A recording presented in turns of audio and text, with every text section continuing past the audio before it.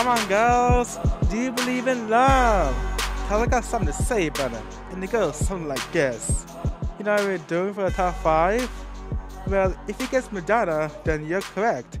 It's been my top five Madonna songs. So what are we waiting for? Let's express ourselves with number five, Like a Virgin. This is the most popular song ever released from the album itself.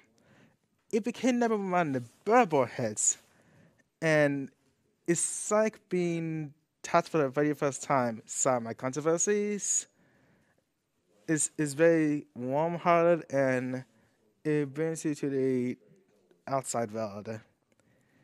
Number four, I'm gonna bring it to uh, Papa Don't Preach. Well, David Bowie would Papa Don't Preach the first time, but I prefer Madonna version because the original is kind of inspiring to the the story from the teenage pregnancy.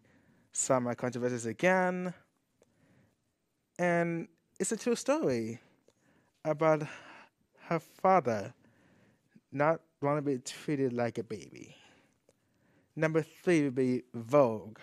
Let your body move to the music and go with flow. I know you can do it. Is have a very inspiring quote to people who want to do entertainment and dancing, especially acting and performing concerts. Don't just stand there. Let's get to strike pose. There's nothing to it. Number two will be express yourself. Don't vote for second best. Body to the test. You know you got to make him express how he feels, and then you know your love is real. That's the quote from Express Yourself. Do you believe in love? Because that's what love is. And is part of famous MTV and Blonde Ambition World Tour. For honorable mentions, it would be like a prayer because it was so controversial. Actually, the music video is controversial, but the music itself is very inspiring and gives all the prayers. Next would be Deeper and Deeper, where it's more of a disco dance to me. Bring back the 70s with a mix between 80s and 90s music. Hung Up is the next honorable mention. Hung Up is a comeback of Madonna for Confessions on the dance floor. It's like you're dancing to the music itself. And now I brought up to number one Holiday by Madonna. If you took a holiday, there's time to celebrate.